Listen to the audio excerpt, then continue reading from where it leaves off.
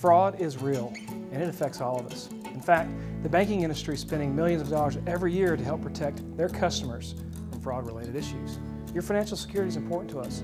That's why we're going through an entire bank conversion to help protect our customers. ABC Bank is one of the first banks in our area to help implement chip card technology, which in turn increases security and reduces risk associated with lost, stolen, or counterfeit cards. Start protecting your in-person transactions today with ABC Bank and chip card technology.